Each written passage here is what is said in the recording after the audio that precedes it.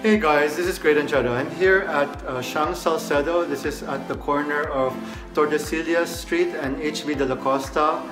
Also, corner of Buendia or Gil Puyat Avenue. This is a new development by Shang Properties and you guys have to check this unit out. It's a one bedroom, 55 square meter unit which includes parking. Isn't that great?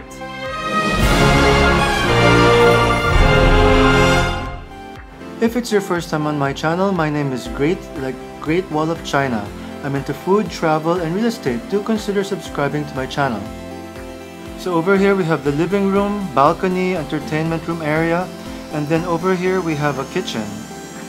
From the inside, looking back at the entrance, you can see that's the kitchen, the door to the bedroom, and of course we have the living room and the balcony is right here. Again, from the inside, that's the kitchen, that's the entrance door. You have seating here for a dinner table, uh, entertainment area. Here again, it's just another perspective from a higher vantage point of the living room, the dining room area, and the kitchen.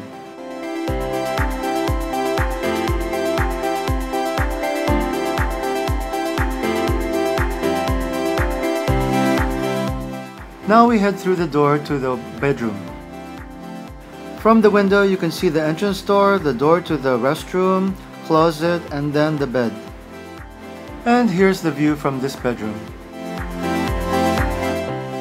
Here's a view of the bedroom from this other corner. And so that you can clearly see the lighting that they have in the room, there you go.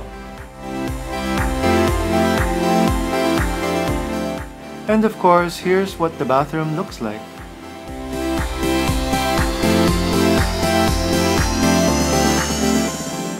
Okay, okay, and the moment you've been waiting for is the balcony with two chairs.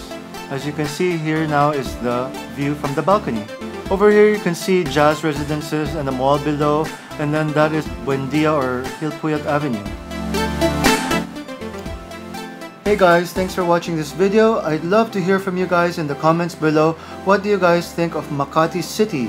And also, do share any ideas of any other videos you'd like to see. And of course, if you haven't yet, do subscribe to my channel and leave a thumbs up for this video. Thanks again and have a great day.